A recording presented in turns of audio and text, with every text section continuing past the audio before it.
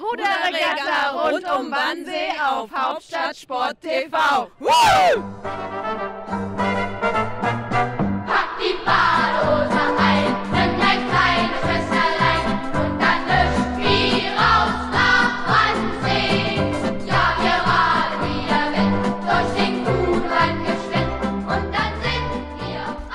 Der Tag der deutschen Einheit steht vor der Tür. Das bedeutet für den Berliner Ruderclub natürlich wieder eins. Es ist Zeit für die legendäre Ruderregatta rund um Wannsee. Entlang der Wannseeinsel zeigten die Ruderer in verschiedenen Klassen ihr Können. Denn diese Regatta stellt im Kalender etwas ganz Besonderes dar. Wenn man in der Schule sitzt, über seinen Büchern schwitzt und es lacht der Sonnenschein, dann möchte man draußen. Es ist ja jetzt das 17. Mal, dass die Regatta rund um Wannsee stattfindet.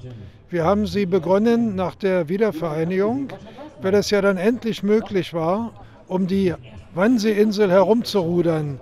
Denn solange Westberlin eben eingeschlossen war, mussten unsere Ruderer ja am Griebnitzsee aufhören und konnten auf der anderen Seite nicht durch die Kliniker Brücke durch, die ja nun mittlerweile zu Recht Brücke der Einheit heißt. Und aus dem Gedanken heraus haben wir begonnen, eine solche Regatta ins Leben zu rufen. Und nicht nur die Veranstalter legten großen Wert auf die Bedeutung der deutschen Einheit, auch für die Ruderer und Ruderinnen ist die Verbindung von Ost und West etwas Einmaliges. Also unser Boot ist ja auch das Boot der Einheit, da wir aus Tegel und Potsdam kommen und früher so hätten gar nicht zusammenfahren können. Und deshalb hat das für uns natürlich nochmal eine besondere Bedeutung, weil wir rudern auf einem Stück, auf dem wir früher nicht hätten zusammen rudern können und mit einer Mannschaft, mit der wir früher nicht hätten zusammen rudern können.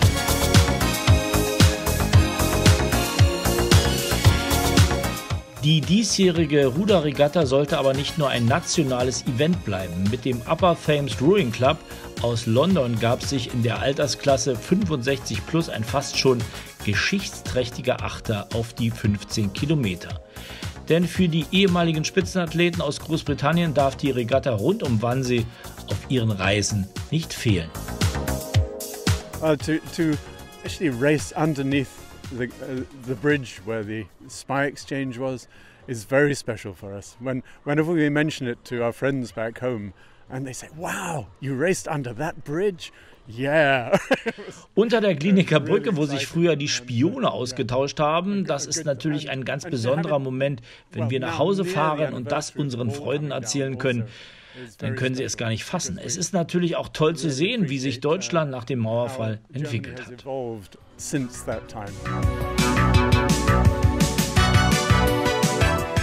Und wer denkt, dass die Regatta nur etwas für Spitzenathleten ist, der liegt völlig falsch. Beim Berliner Ruderclub treffen Jugend auf Seniorenklassen und die Hobbyruderer dürfen sich mit den Besten der Nation messen.